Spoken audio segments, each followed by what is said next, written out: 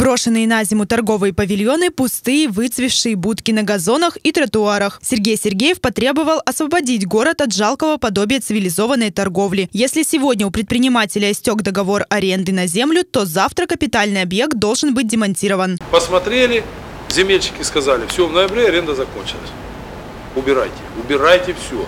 На клумбах быть ничего не должно. В районе санатория «Малая бухта» специалисты нашли торговый павильон и металлический каркас павильона. Срок аренды закончился 2 декабря прошлого года. Собственников предупредили об административной ответственности за установку коммерческих объектов на муниципальной территории без разрешительных документов. Владельцы сами демонтировали павильоны. Специалистами управления муниципального контроля в ходе мониторинга территории э, города Курутанапы выявлены торговые павильоны, с истекшим сроком аренды земельного участка.